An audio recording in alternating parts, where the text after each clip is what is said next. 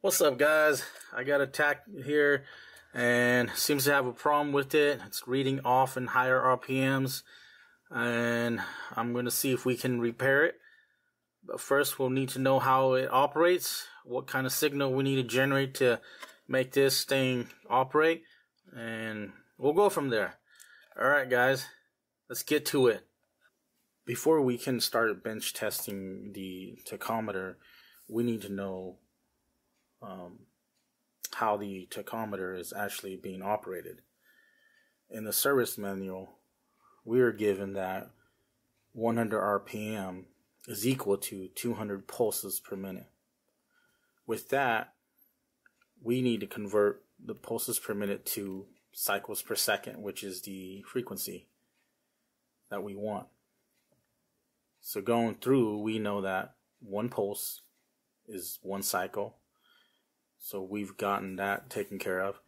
We'll take the the whole given equation and convert the pulses per minute to cycles per second. So we know one cycle is equal to one pulse, and we know that one minute is equal to 60 seconds.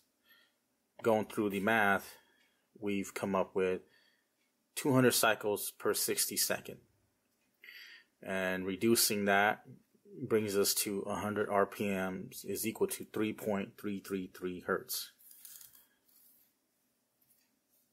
So we wanted to uh, know what RPM at what given frequency. So the ratio is now 100 RPMs per 3.33 hertz and reducing that to 30 RPMs per 1 hertz.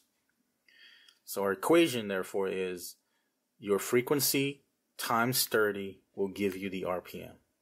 Using that we can go and generate a frequency and we can look at the RPM on the tach and see if it's correct. So the frequency multiplied by 30, we should have an RPM. Now that we have uh, gone through and uh, worked through the uh, specifications given by Honda, we can go ahead and generate our frequency and determine uh, what RPM it should be at at a given frequency.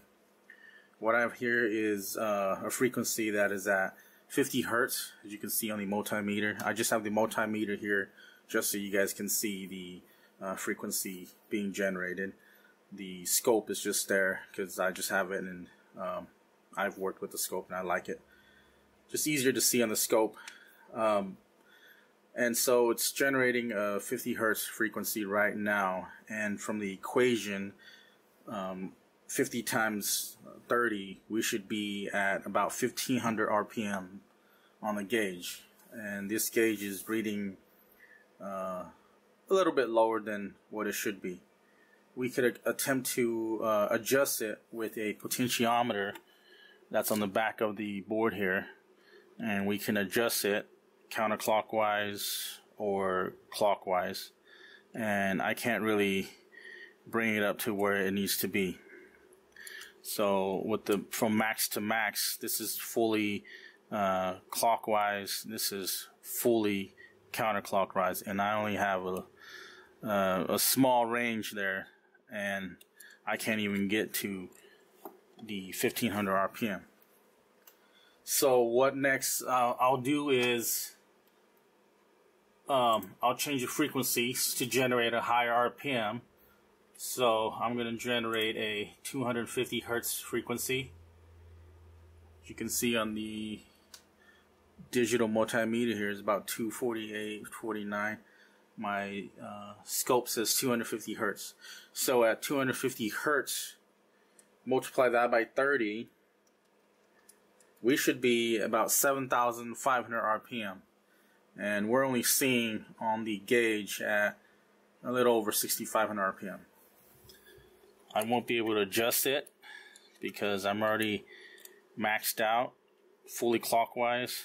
Counterclockwise brings it down. So um, there's an issue with this uh, tachometer. I've uh, looked into it and there's a capacitor on the board uh, that has leaked. So I'm going to go ahead and um, change it and we'll see if it fixed the problem. But we do know it isn't reading correctly. So I'm going to go ahead and replace the capacitor and we'll test again and let's see if that fixes it. Now that I've just replaced the capacitor and with the 50 hertz uh, frequency, look at our um, gauge.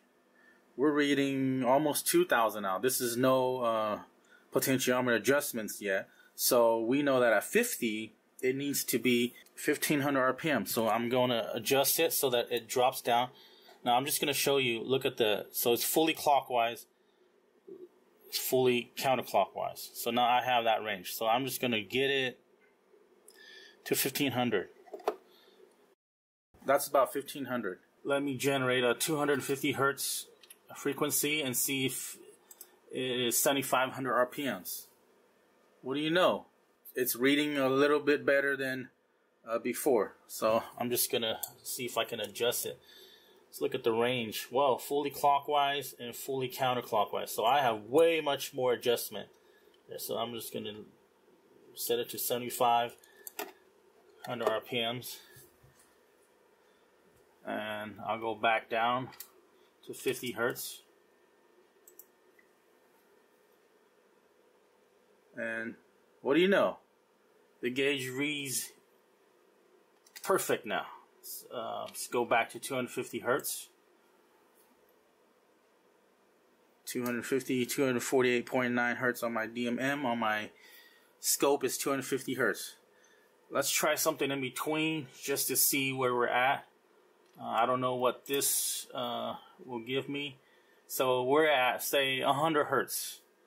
So we should be at 3,000 RPMs. And our gauge is 3,000 RPMs.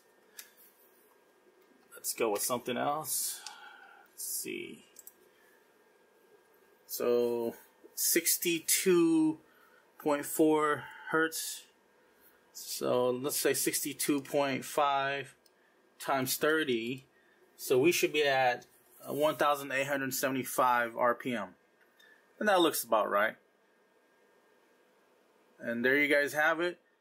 Uh, we've just repaired this uh, tach from a 92 to 95 Honda Civic.